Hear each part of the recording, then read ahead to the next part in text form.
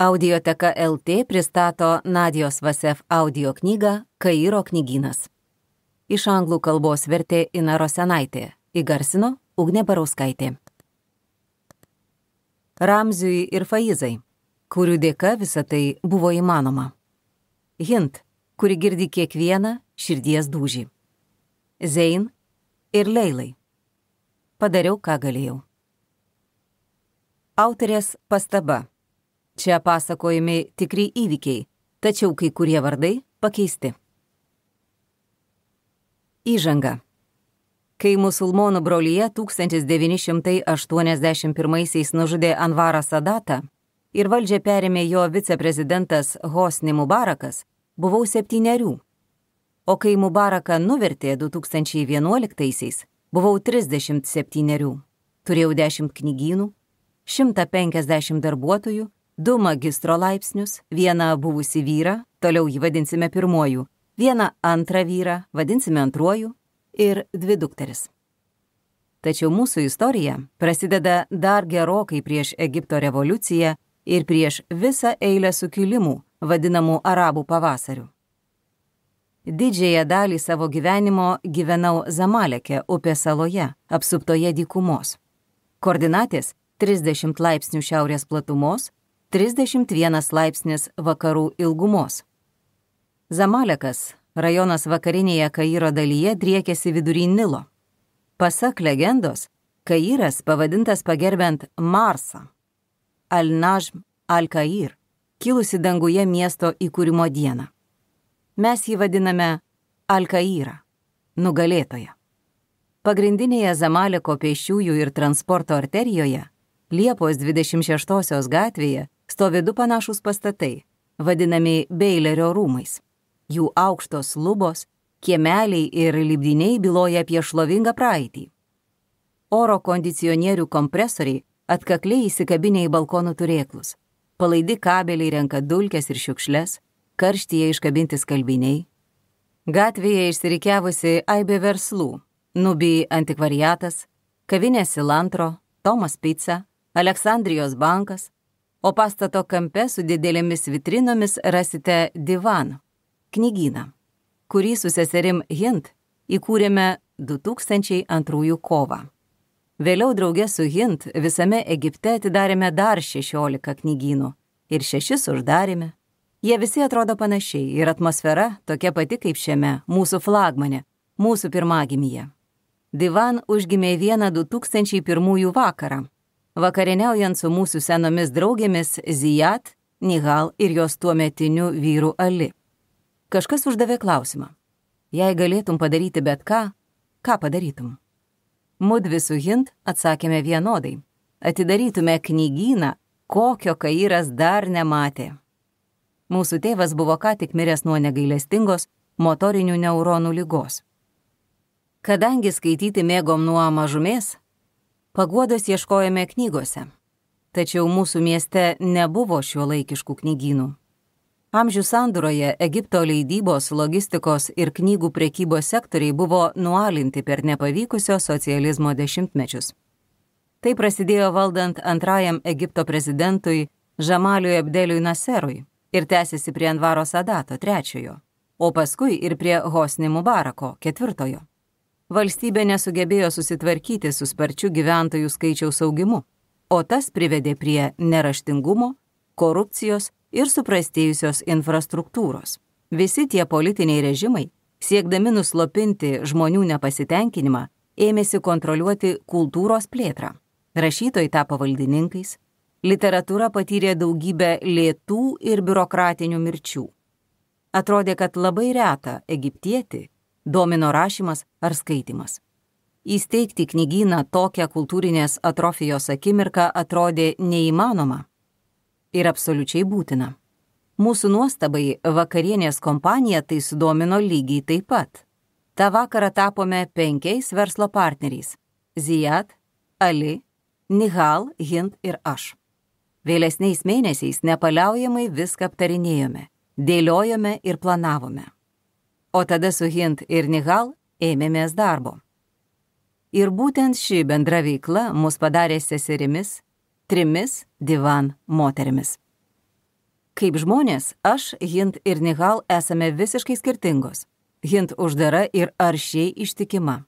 Nihal dvasinga ir kilnė širdį, aš veiklo žmogus. Būdamos verslo partnerės, stengiamės būti geresnės nei esame, dažniau nesėkmingai. Pasidalinome darbą pagal tai, kuri kam teikia pirmenybę ir kas kurią džiugina. Mudviem su Hint mielesnės knygos, Nihal - žmonės. Tas pasidalinimas niekada neturėjo griežtų ribų. Mus visas visada domino kalba. Savo dėmesį ir darbą skiriame žodžiams. Didžiavomės Egipto kultūra ir norėjome ją kuo plačiau skleisti. Neturėjome nei verslo plano, nei sandėlio, nei baimės.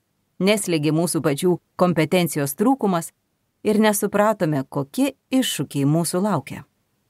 Buvome jaunos, man 27, Hint 30, Nihal 40. Per kitus du dešimtmečius laikysime vieną kitą už rankos per santokas, skirybas, gimimus ir mirtis. Stosime į akistatą su sunkumais, valdydamos verslą patriarchalinėje visuomenėje. Laviravome tarp pažeminimų ir diskriminacijos, pataikavome despotams valdininkams ir šitai puikiai perkandame Egipto cenzūros įstatymus. Nuo pat pradžių žinojome, kad mūsų knyginas negali būti praeities reliktas. Tai turėjo būti siekis ir vizija. Kiekvienas aspektas turėjo būti samoningas, pradedant nuo pavadinimo. Vieną dieną mūsų mama Faiza mandagiai klausėsi, kaip su Hint sukame galvas dėl šios dilemos. Nesužavėta mūsų pasiūlymų ir norėdama kuo greičiau sugrįžti prie pietų, ji pasiūlė divaną išvardijo to žodžio reikšmes. Poezijos rinktinė persų ir arabų kalbomis, susitikimų vieta, svečių namai, sofa ir pavadinimas žinomas aukšto rango valdininkams. Divanė yra arabiškos kaligrafijos rūšis. Kiek patilėjusi dar pridūrė, kad šitas žodis puikiai skamba kalbant arabiškai, angliškai ir prancūziškai. Ir toliau kybo į maistą. Pokalbis buvo baigtas. Tam pavadinimui suteikus mums jėgų kreipėmės į Nerminę Hamam grafikos dizainerę, dar žinoma kaip Minu, kad padėtų mums susikurti prekės ženklą. Jos humoro jausmas pagaulus ir kandus, jos plati šypsena visa žinė. Minu paprašė mūsų su Hint ir Nihal apibūdinti divan taip, tarsi jis būtų asmuo. Mes jai atsakėme, kad jis ir yra asmuo ir ji viską išdėstė štai taip. Divan pradėtas, reaguojant į pasaulį, kuriam neberūpi rašytinis žodis. Jis gimė 2002 kovo 8-ąją. Taip jau sutapo, kad tarptautinė moters diena. Jis didesnis už erdvę, kurią užima. Kviečia ir gerbia kitus, nepaisydamas visų jų skirtumų. Kaip geras šeimininkas siūlo klientams pabūti ilgėliau savo kavinėje. Laikosi draudimo rūkyti, Jis supranta, kad daugumoje vietų jo tėvynėje tam nekliudoma, bet nusprendė siekti geresnio. Jo idėjos kilnesnės, nei leidžia aplinka, jis sažiningas, bet vagių nebaus. Jis nuoširdžiai ir tvirtai nusprendęs išravėti tuos, kurie tokie nėra. Jam nepatinka skaičiai. Nepatinka jį supantis dviejatainis pasaulis ir jis pasiryžęs jį pakeisti viena knyga po kitos. Jis įsitikinęs, kad šiaurė ir pietūs, rytai ir vakarai yra ribojamosios savokos, todėl siūlo knygas arabų, anglų, prancūzų ir vokiečių kalbomis. Jis telkia žmonės ir idėjas. Minu mūsų aprašymą pavertė logotipu. Išpiešė D, I, V, A ekscentriškų juodų šriftų, o N prirašė arabiškai. Toji paskutinė raidė duoklė nun al nisva ir nun al inati būdvardžius, veiksmažodžius ir daiktavardžius padaro moteriškos giminės. O tą žodį minų apsupo taškyl, kitaip tariant, diakritiniais ženklais. Minu sukūrė ne tik logotipą, bet ir prekė ženklą, kuris galėtų aukti ir keistis. Sugalvojo būdus, kaip populiarinti divaną - maišelius, knygų skirtukus, atvirukus, žvakes viniojama į popierių rašiklius, pieštukus ir tapetus. Kairo gatvėse divan maišelis tapo kultūrinio statuso simboliu, o kai vėlesniais metais išvyzdavau vieną tų mūsų maišelių kokioje Londono gatvėje ar New Yorko metro, apimdavo begalinis džiaugsmas. Per tuos dviejus metus po revoliucijos, musulmonų brolyjei atėjus į valdžią, Kairas virto kažkuo, ko ne net pažįstamu. O aš ėmiau svarstyti apie išvykimą. Ši perspektyva buvo neįtikėtinai skausminga. Po ilgų metų vadovavimo divan po revoliucinėme chaose visiškai išsisėmiau. Pradėjau suvokti, kad likdama kaire egzistuoju tik tiek, kiek tai susiję su mano knygynais. Ir niekada negalėsiu iš to išsilaisvinti.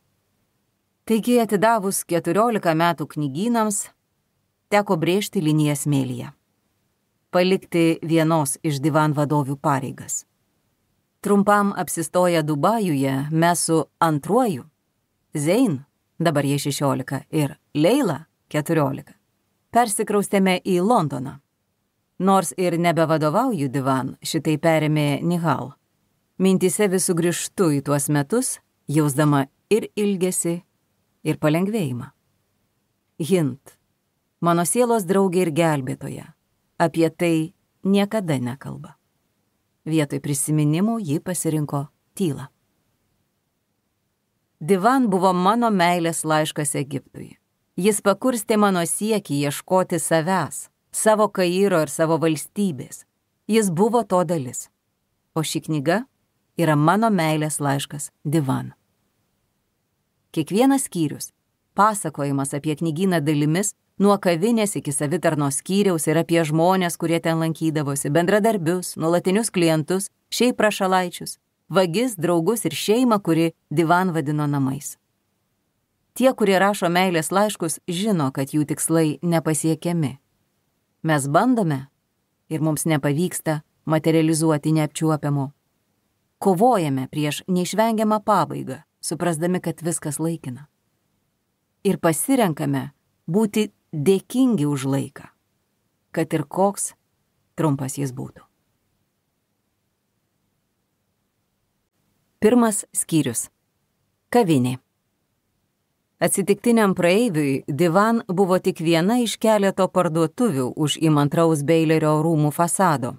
Tradicinė mėlyna gatvės pavadinimo lentelė skelbė Šariai Julijų, Liepos 26 gatvė. Savo įspūdingą juodą logotipą iškabinome ant pastato fasado. Knygyno įėjimui lenkės nuolankus palisandramedis. Stiklinės duris pastato kampe padabinome šiuolaikiškais arabiškais raštais ir ilgą sidabrišką rankeną. Knygyno vidus buvo oazė karštoje judrioje gatvėje. Arabiško džiazo, Ome Kalthum ir Džordžo Geršvino muzika pabrėžė mechaniškas oro kondicionierių skimčiojimas. Prie didžiulės sienos su iškabomis rekomenduojami, bestselleriai ir naujienos iš lentynų virste virto grožinės ir negrožinės knygos arabų ir anglų kalbomis. Lankytojai galėjo praėję pro kasą ir kanceliarinės prekes patekti pro arką dešinėje į knygų skyrių arba sukti kairien į multimedijų skyrių, kur buvo kruopšiai atrinkta drasi kino ir muzikos kolekcija eksperimentinių ir klasikos kūrinių iš rytų ir iš vakarų. Ruoždamasi įkurti divan, perskaičiau vieną straipsnį. Jame buvo rašoma, kad užėję į knygyną žmonės dažniausiai suka į dešinę. Tai nulėmė, kad divan knygų skyrių įrengėme dešinėje. To salės langai išeina į kiemą, o ne pagrindinę gatvę. Todėl šioje knygyno dalyje tyliau ir ramiau. Ryškios, pailgos lempos ant lubų apšviečia raudonmedžio lentynas su matinio plieno elementais - senovės ir moderno sintezė. Knygos suskirstytos į dvi kategorijas. Kairėje mūsų arabiškos knygos, kuriomis rūpinosi Hind. Dešinėje - angliškos - mano karalyje. Nedidelį skirelį knygų prancūzų ir vokiečių kalbomis įrengėme multimedijų dalyje. Čia pat ir įėjimas į kavinę, knygyno širdį ir ašį. Salės personalas po knygyną vaikščiojo apsirengęs divan uniformomis, tamsiai mėlynais trumparankoviais marškinėliais su gelsvu mūsų logotipu kairėje ir smėlio spalvos kelnėmis užsiūtomis kišenėmis, kad užkirstume kelią vagystėms. Savo pagalbą ir žinias Jie siūlydavo stengdamiesi išlaikyti pusiausvyrą tarp uolumo ir profesionalaus atstumo. Jų darbas buvo sudėtingesnis nei kitų knygynų darbuotojų, ypač kai tik atsidarėme ir daugumai klientų divan požiūris buvo visai svetimas. Supratau, kaip juos tai trikdė. Iki divan Egipte buvo trijų tipų knygynai - valdiški, kur tvarkomasi prastai, priklausantis konkrečiai leidyklai ir mažučiai, daugiausia parduodantis laikraščius ir kanceliarinės prekes. Valdiški knygynai man paliko didžiausią įspūdį. Studijuodama universitete kartais sėsdavau į taksi ir nuvažiuodavau į Kairo centrą, kur kadaise armėnai vadovavo amatams, italai universalinėms parduotuvėms, o graikai maisto krautuvėms. Važiuodavau savo miesto pagrindinėmis gatvėmis, pavadintomis istoriškai svarbiomis datomis. Liepos 26 gatvė anksčiau vadinosi Fuado I, pirmojo šių laikų Egipto karaliaus vardu. Ja pervadino pagal dieną, kada Fuado sūnus Farukas savo karališkąją jachtą pabėgo iš šalies per 1952 revoliuciją, kuriai vadovavo Naseras, pašto tarnautojo sūnus, ir Mohamedas Nagibas, vėliau tapęs pirmuoju Egipto prezidentu. Miesto centre eidavau į laidojimo rusius primenančius knygynus su dulkėtomis knygomis. Lentynų ten nestigo, bet trūko iškabų su informacija. Juose būdavo po vieną vyriškį prie kasos, gurkšnojantį arbatą ir snaudžiantį su laikraščiu rankoje. Man paprašius kokios knygos, tas vyriškis įkiždavo basos kojos pirštus į sandalą, o jo sutrukinėję kulnai vilkdavosi grindimis. Nė nepritildęs radijo jis prisiversdavo atsistoti ir pakeldavo dulkes nuo girgždančių grindų lentų. Kodėl tie knygynai buvo tokie nutriuši? Iš dalies taip susiklostė istoriškai. Egipte praeitis gyvena šiandienoje, dažnai apsireiškia užsimaskavusi ir niekada iki galo neišnyksta. Steigdamos divan, buvome priverstos pripažinti leidybos ir knygų prekybos istoriją, kuri ir toliau duoda toną šio laikiniai leidybai ir prekybai. 1798 per Napoleono kampaniją Egiptas gavo pirmasias dvi spaudos mašinas - vieną arabiškoms, kita prancūziškoms knygoms. 1820-aisiais Muhamedas Ali, Albanas Osmanų valdovas ir šių laikų Egipto įkūrėjas, paleido pramoninę spaudos mašiną Kairo Bulako rajone, pavadintame pagal prancūzišką frazę Bolek - gražus ežeras. Jam valdant, spauda tapo propagandos įrankiu. Antroje 20-ojo amžiaus pusėje valdžia atlaisvino savo leidybos monopolį, o vėliau ir cenzūrą ypač Britams okupavus Egiptą 1882-aisiais. Aukštesnieji visuomenės sluoksniai turėjo ir priemonių, ir noro investuoti į spaudą. Jau 1900-aisiais leista galybė laikraščių ir žurnalų, politinių, visuomeninių ir feministinių, skirtų kelti tautos sąmoniai arba didinti pelnui, arba ir tam ir tam. Laikraščiuose ir periodiniuose leidiniuose buvo spausdinamos kalbos, manifestai ir romanai, jie iš pradžių publikuoti dalimis, o paskui išleisti kaip knygos. Egipto literatūros meistrai turėjo ištisus dešimtmečius produktyviai ir puikiai kūrybai. Viskas pasikeitė po 1952 revoliucijos. 1956 Naseras, tapęs prezidentu, jis buvo vienintelis kandidatas balsavimo biuleteniuose įgyvendino daugybę politinių iniciatyvų, kiek pakeitusių Egipto veidą. Plačiai gerino būsto sąlygas, švietimą ir sveikatos apsaugą, tačiau taip pat atėmė pilietybę iš daugybės užsieniečių ir juos deportavo. Sukūrė valdininkiją kopijuodamas Britanijos sistemą, apribojo pilietinės teisės ir dešimtmečiams įvedė karinį valdymą. Septintojo dešimtmečio pradžioje jis privertė leidybos pramonę leisti knygas propaguojančias naująją Egipto socialistinę viziją ir platesnius arabiškojo nacionalizmo tikslus. Tačiau jo režimui stigo infrastruktūros šiai vizijai įgyvendinti. Atėjus 1966-iesiems, leidėjams jau buvo susidarę stulbinantis finansiniai nuostoliai, o jų sandėliai, vadovaujantis valstybės šūkiu po knygą kas šešias valandas buvo užversti niekam neįdomia literatūra. Knygos spausdintos ant prastos kokybės popieriaus. Viršeliai buvo vargani, dažnai nuplyždavo. Nebuvo nei leidybos agentų, nei bestsellerių sąrašų, nei rinkodaros skyrių. Apie knygų pristatymus ar pasirašymus nėra net kalbos. Knygos išleidėjų būdavo pristatomos ryšuliais, stipriai surištais virve, įsirėžiančiai viršelius. Arba antrą kartą panaudojant kartoninės dėžes nuo cigarečių. Štai į kokią aplinką patekome su Hint ir Nihal. Tačiau mūsų tai neišgazdino ir ėmėme dirbti su šiuo chaosu ir prieš jį. Dar prieš atidarant knygyną Zamalekė atrodė, kad praktiškoji Hint sistemiškai pašalino visas kliūtis ir susitvarkė su jomis. Šalyje reformistinis optimizmas šlavė lauk negandas. Naujieji investiciniai įstatymai atgaivino vertybinių popierių rinką. Daugybė užsienyje studijavusių egiptiečių sugrįžo trokšdami kurti savo šalies ateitį. Buvome atsidūrę prie meninio ir kultūrinio renesanso ribos, nors mums vis dar trūko bazinių šio laikinių patogumų, tokių kaip knygynai. Anksti ir dažnai spręsdama problemas, Hind padėjo mums plaukti ant šios bangos. Ji lankydavosi kituose knygynuose ir leidyklose, užsirašinėjo, ką jie siūlo ir vis klausinėjo. Tokiose žvalgybinėse misijose Hint stengdavosi atrodyti nereikšminga, menka ir nepavojinga.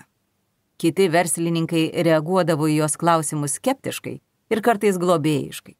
Jos tai iš vėžių neišmušė. Kalbėdamasi su vienu leidėju, ji išsiaiškino, kad visai nedaugelis Egipte leidžiamų knygų turi ISBN tarptautinį standartinį knygos numerį, suteikiamą visoms išleistoms knygoms. Egipte tuos retus numerius generuodavo nacionalinės bibliotekos, kurios aprobuodavo tik knygas neprieštaravusias tuo metiniai valdžios tvarkai. Nepriklausomi leidėjai kūrybingai išvengdavo cenzūros, apskritai nesuteikdami į SBN arba pasiskolindami jau išleistų knygų numerius. Egipto autoriai kartais spausdinosi kitose šalyse kadangi nebuvo tos eilutės su skaičiais. Sąskaitų išrašymo, siuntimo ir knygų judėjimo sekimo procesams nuolat grėsė rimtos klaidos. Nebuvo įmanoma sudaryti nacionalinių bestsellerių sąrašų. Mūsų knyginė Hint pripažino šią pragarišką problemą su savo būdinga kantrybė. Sukūrė instrukcijas, kaip transliteruoti rašytojų vardus su pavardėm ir knygų pavadinimus į mūsų anglišką kompiuterinę sistemą numatančią visas įmanomas kombinacijas. Perpratusios šią fonetinę sistemą galėjome arabiškoms knygoms sukurti savo pačių kodus. Tada ji nėrė į didžiulę nežinomybę, su priekyba susijusius skaičius. Egipto knygynuose buvo tradiciškai naudojami ranka pildomi žurnalai ir kvitai. Niekas nežinojo, ką tiksliai parduoda, todėl niekas nežinojo ir kaip normaliai apsirūpinti knygomis. Visi, kas vedė pardavimų apskaitą, laikė ją paslaptyje. Hint nepaisė tokių papročių viską skaičiuodama, o tada sudarydama divan bestsellerių sąrašus, pakurstydama leidėjų ir autorių konkuravimą ir pristatydama skaitytojams naujas knygas. Ir tai buvo tik pradžia. Paprastai sužinodavau, ką Hint planuoja, tik tada, kai ji tuos planus sėkmingai įgyvendindavo. Mus abi vienijo įsitikinimas, kad darbai eina prieš kalbas. Išsikvėpęs Kairo knygynų sektorius užaugino dvi pagrindinės skaitytojų rūšis. Tuos, kurie susitaikė su neveikiančia sistema ir tuos, kurie kaip aš su Hint ir Nihal norėjo alternatyvos. Divan klientai turėjo galybę įsitikinimų ir prielaidų dėl knygynų. Ir mūsų darbas buvo pajusti tas jų nuotaikas o kartais jas išsklaidyti. Užkietėję skaitytojai čia surado savo rojų, pirko naujas ir pardavinėjo jau perskaitytas knygas, rekomendavo naujas ir dalyvavo platesnėse diskusijose. Jie asmeniškai kreipdavosi į mus knygyno šeimininkės, norėdami aptarti klientų aptarnavimo klaidas ir pasiskūsti. Troško, kad divan gerai sektųsi ir kad būtų išlaikyti jo standartai. Iki šiol Gaunu elektroninių laiškų ir žinučių socialiniuose tinkluose iš klientų nepatenkintų siuntų vėlavimu ar kitais dalykais. Kai kurie vis dar nori, kad kuri nors knygynų steigėja pati prižiūrėtų jų pirkimo procesą. Kitų ketinimai būdavo netokie geranoriški. Įprastinis kontaktas užsimegsdavo taip. Noriu pasikalbėti su savininku, sakydavo klientas, droždamas tiesiai prie Nihal, Hint ar manęs. Aš esu viena iš savininkių, atsakydavo Nihal arba Hint. Aš visada stengdavausi pasitraukti kur toliau, griebdamasi kokios nors umai netidėliotina tapusios užduoties. Noriu sugražinti šitą knygą. Labai gaila, ar kas nors su ja negerai? Aš ją nusipirkau, perskaičiau, man ji nepatinka, noriu atgauti pinigus. Nuo šios vietos pokalbis jau būdavo vis skirtingas, atsižvelgiant į klausytoją. Nihal visada palinksėdavo, kad klientas pasijustų išklausytas. Tada mandagiai paaiškindavo, kad divan nėra biblioteka. Dažnai pasitaikydavo, jog tas klientas pasakydavo, kad knyginas turėtų būti ta biblioteka. Ne jau kultūra, ne visuomeninis išteklius. Šiame etape mano nervai nebeatlaikydavo ir įsikiždavau. Paaiškindavau, kaip šitoks atgyvenęs požiūris Egipte mus privedė prie samos padėties. Ir tik daug vėliau, po daugybės panašių pokalbių, išmokau palaikyti liežuvį už dantų. Nihal mandagiai nukreipdavo pirkėjus į valstybinės bibliotekas, kurios galėtų atitikti jų poreikius, atsiprašinėdama, kad divan sistema kitokia. Savo pokalbiuose Hint, absurdo gerbėja, leisdavosi į ilgas diskusijas, norėdama išbandyti tų klientų logikos ribas. Apsimesdama visai naivi, ji paneigdavo jų argumentus pagarbiai ir sumaniai it debatų dalyvė. Jei pokalbis jai nusibosdavo, ji pažvelgdavo į savo laikrodį ir mandagiai atsiprašydavo. Hint yra mažiausiai punktualiai iš visų man pažįstamų žmonių. Bet kaip ir mano mama, ji užslėptai negailestinga ir moka subtiliai pasiūsti žmogų, jei jis jai nebeįdomus. Kiti klientai buvo malonesni, nors ir sunkiai laviruodami tokioje svetimoje teritorijoje. Pasidžiaugdavo švara, skrupulingų dėmesių detalėms, interjeru, darbuotojais, o tada užduodavo tą patį keblų klausimą. Kodėl čia knygynas, o ne biblioteka? Mes su Hint ir Nihal, visada būdamos knygynė, pasakydavom, kad knygas skolinanti biblioteka negalėtų pakelti nuomos, atlyginimų, uniformų, mokesčių ir kitų išlaidų, su kuriomis susiduria smulkus verslai. Neišvengiamai paklaustos, ar divan įsteigtas dėl ponios Mubarak raštingumo skatinimo projekto, atsakydavom, kad neturime nieko bendro, nei su pirmąja pone, nei su valdžia ir kad tai privatus verslas. Dėl to visi nustebdavo. Kodėl koks nors sveiko proto žmogus investuotų į nepelningą prekybą knygomis? Net prieš atidarant divan į mūsų sumanimą žvelgta su nepasitikėjimu. Mums atliekant rinkos tyrimus, Ali, Nihal vyras ir vienas mūsų bendrasavininkių, pasiūlė apklausti rašytojus, kur jie perka savo knygų. Ali, baigęs Deutsche Evangelische Oberschule, vieną Kairo vokiškų mokyklų, be galo mėgsta skaityti ir bendrauti su žmonėmis. Jo juokas labai užkrečiamas. Žavėjausi jo gebėjimu užmėgsti draugystės ir jas išlaikyti, nepaisant amžiaus skirtumų, skirtingų žemynų ir ideologijų. Vieną dieną palaikėme jam kompaniją per susitikimą su vienu žymiausių Egipto žurnalistų. Klausydamasis mano su Hint postringavimų, ta žurnalistas mus įdėmiai nužiūrinėjo. Ir galiausiai pateikė verdiktą. Mes esame miešionės namų šeimininkės, švaistančios savo laiką ir pinigus. Išnykus viduriniai klasiai, žmonės Egipte nebeskaito. Bet ar norint kam nors egzistuoti būtinai reikalinga finansinė sėkmė? Paklausiau to žurnalisto. Valstybės išlaiko viešasias erdves, tarkim, parkus, muziejus ir bibliotekas, kad pagerintų kultūrinę šalies būklę. Tai kodėl pasmerkėte nesėkmiai individus, norinčius imtis to paties? Jūs esate jaunos moterys, neturinčios pasaulio patirties. Su jumis man tenka kalbėtis, kaip kalbuosi su savo vaikais. Nenoriu, kad nusiviltumėte. Net nenutuokėte apie iššūkius, su kuriais susidurėma įmantis verslo, o ką jau kalbėti apie tai, kad tas verslas paremtas skaitimu, tiekėjai ir klientai, jūs gyva su jais. Nesijaudinkite dėl mano nusivylimų, pagalvojau savo. O kaipgi Egiptas? Kas nutinka valstybėms, apleidžiančioms savo kultūrinius projektus dėl užtvankų ir magistralių? Atsakymas akivaizdus. Mūsų muziejai virto kapinėmis.